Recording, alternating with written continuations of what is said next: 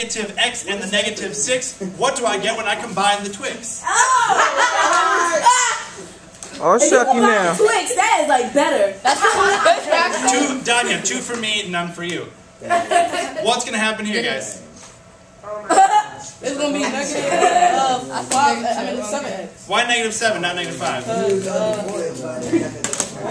When you add two negatives, you get a negative negative. Okay, so really, Wait. if you take a look closer, you'll see what we have is negative x minus negative 6x. What's that number in front of the x? It's invisible, One. but important.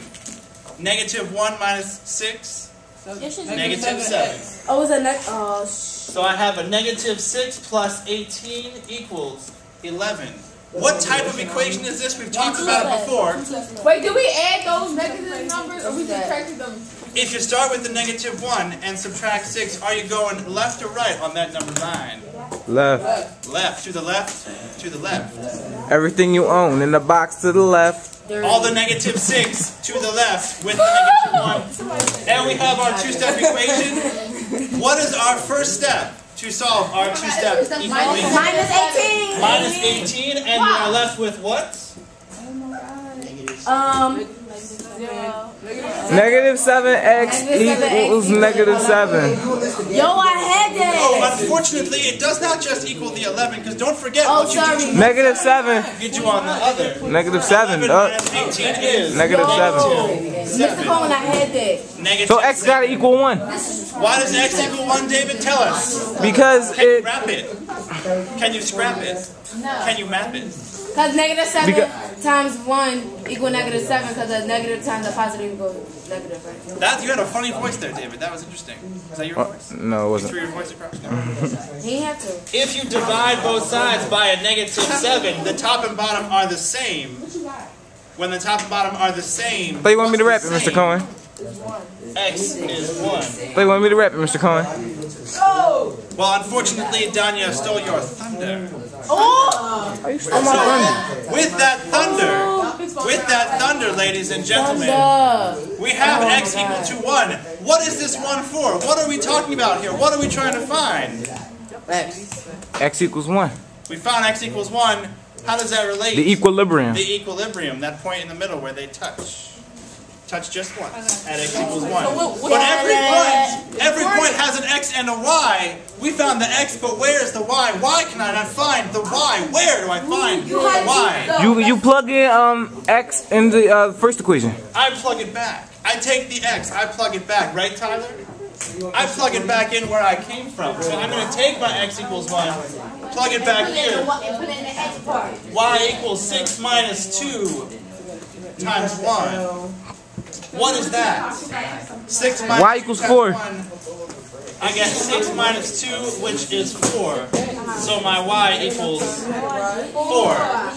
Right, Ashley? Right, Kelly? Right, the Marley? Right.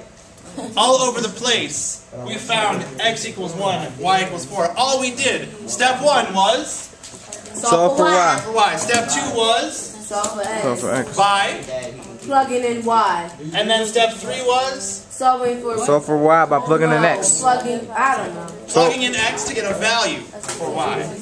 This is our solution, ladies and gentlemen. A solution to the evolution of systems of equations. The only way to solve is to put the effort in step by step by step. Do I have any questions? No. Do I have any applause? No. Thank you.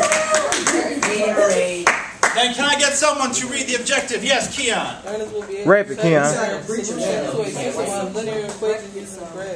Interesting, interesting. So, before I let you go, because I would like you Before to you finish erect yourself. your activity 12. Before I let you go finish activity 12, I need to show you how to check yourself All right. before you wreck yourself. Christian. Oh my God. Oh by taking, by taking what you have solved, we have solved x equals 1, y equals 4. Now watch as I blow your mind. I thought he was minds. I take my x, I take my y, and what do you think I'm going to do with them? Uh, Plug them in. X Plug it one, in, plug it in. Four. Four times one is Four. four. Two times four is Eight. eight. Does that equal twelve? Yeah. It does. But I'm not finished. Because to finish what you started, It's gotta be the same the for both as well. equations. So let's do that. Negative plus 3 with the parentheses, 11. What do I plug in here? Uh, four, one, Which one is that? One. I plug in my 1. four, I plug in my 4. A negative 1 plus Three. seven, Twelve. Twelve. 12. 3 times 4. Does that equal 11? Yes.